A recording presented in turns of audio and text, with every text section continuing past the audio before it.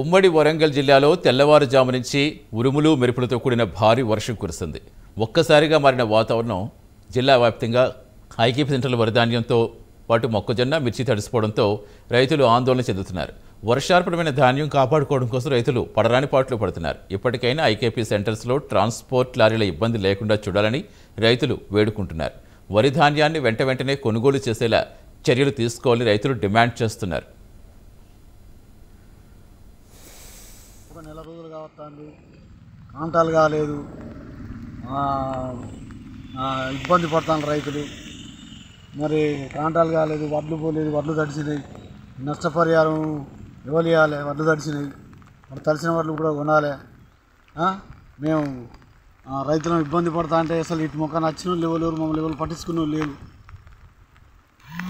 ఒక నెల రోజులు కావస్తుంది నైట్ పన్నెండు గంటలకు వచ్చింది.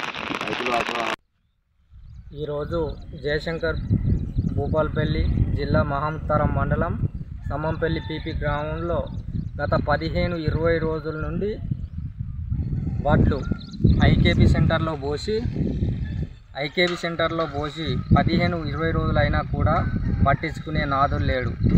పన్నెండు పదకొండు పదమూడు మ్యాచ్ రచినా కూడా దాదాపు రింపించు లేదు.